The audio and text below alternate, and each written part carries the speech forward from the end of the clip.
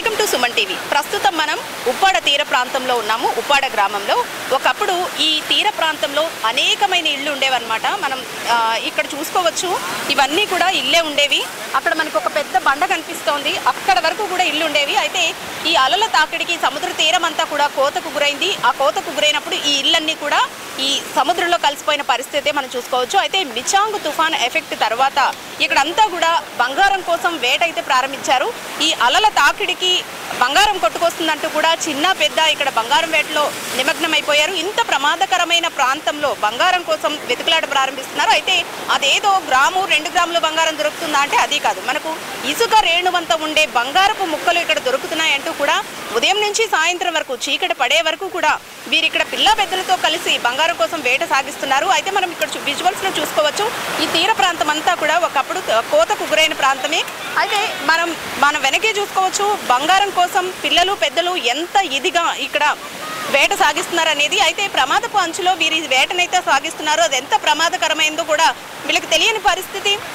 కేవలం ఇసుక రేణువంత బంగారం కోసం తమ ప్రాణాలను పణంగా పెట్టి ఇక్కడ వెతుకులాట సాగిస్తున్నారు. అయితే అసలు నిజంగా బంగారం దొరుకుతుందా? లోపలికి వెళ్ళి చూద్దాం రండి.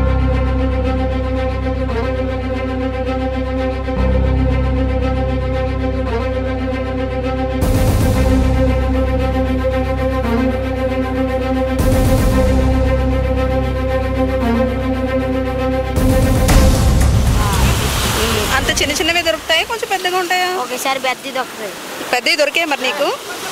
మరి ఇలా కెరటాలు అవి ఫాస్ట్గా వస్తున్నప్పుడు ఇక్కడికి వచ్చి వెతకడం ప్రమాదమే కదా? మరి అలా అనిపించదా నీకు? జాగ్రత్తగా వెతుక్కుంటారా? రోజు వచ్చి ఇక్కడ వెతుకుతావా నువ్వు? దొరికాయి ఎప్పుడైనా నీకు? ఎన్ని దొరికాయి? పది మొక్కలా పది ముక్కల దాకా దొరికాయా? ఏవి ఇంట్లో దాచేసావా?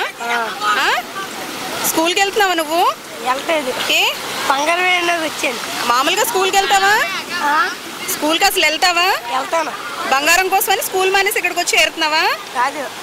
మధ్యాహ్నం మానేసి ఇచ్చాను కాదు మరి ఇంత హెవీగా అలలు వస్తున్నాయి కదా. మరి ఇలాంటి ప్లేస్లో ఇలా బంగారం ఏరడం ప్రమాదమే కదా. అలవాటు అయిపోయింది మా ఊరు ఇది. అలవాటు అయిపోయిందా రోజు ఏరతారా ఇక్కడ?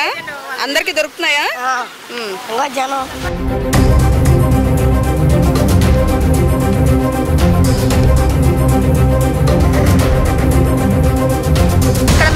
చూస్తున్న విజువల్స్లో ఉన్నవన్నీ కూడా ఒకప్పుడు ఇక్కడ అంతా ఇళ్ళు ఉండేవి. అయితే అలల తాకిడికి ఈ ప్రాంతం అంతా కోతకు గురై ఈ ఇళ్ళన్నీ కాలగర్భంలో కలిసిపోయాయి సముద్రంలో కలిసిపోయిన పరిస్థితి అయితే మనం చూస్తున్నాం. అయితే మిచాంగ్ తుఫాన్ ఎఫెక్ట్ తర్వాత ఈ కొట్టుకుపోయిన ఇళ్ళ ప్రాంతాలు ఏమైతే ఉన్నాయో ఈ ప్రాంతం అంతా కూడా బంగారం వేట కొనసాగుతోంది. పిల్లలు పెద్దలు కూడా ఈ ప్రాంతంలో చిన్న చిన్న బంగారపు రేణువులు దొరుకుతున్నాయంటూ కూడా వేటను కొనసాగిస్తున్నారు.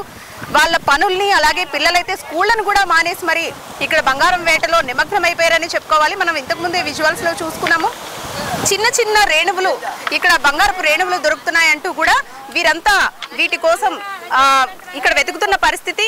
ఈ తీర ప్రాంతం అంతా ఒకప్పుడు కోతకు గురైనప్పుడు ఇక్కడ ఉన్న ఇళ్ళన్నీ కూడా ఈ సముద్రంలో కలిసిపోయిన పరిస్థితి కలిసిపోయిన ఈ ఇళ్ళ మధ్యలో ఉన్న ఏదైనా బంగారం ఇక్కడ కొట్టుకుపోయి ఉండొచ్చు అదే తిరిగి మళ్ళీ ఇక్కడికి వస్తుందంటూ కూడా వీళ్ళు చెప్తున్న పరిస్థితి. మనం చూస్తున్నాం కదా ఇంత చిన్న చిన్న ఇసుక రేణువంత బంగారపు మొక్కల కోసం వీరంతా కూడా ప్రమాదపు అంచున నుంచొని ఇక్కడ వెతుకులాట చేస్తున్న పరిస్థితి మనం చూసుకోవచ్చు.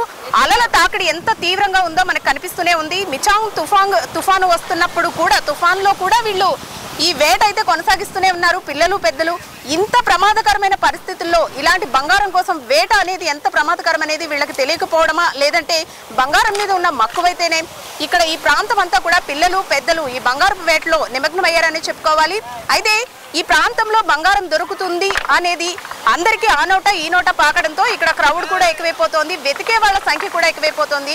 అయితే చిన్న పిల్లల్ని కూడా ఈ ప్రాంతానికి రానిచ్చి వీళ్ళ చేత ఈ బంగారం వెతికించే పనులు చేయించడం ప్రమాదకరం అంటూ కూడా ఇక్కడ చాలా మంది చెప్తున్నప్పటికీ మీరు ఏమాత్రం పట్టించుకోకుండా ఇంత ప్రమాదపు అంచున వీరు బంగారపు వేట కొనసాగిస్తున్నారు. కెమెరామాన్ అజయ్తో అనుశ్రీ సుమన్ టీవీ కాకినాడ.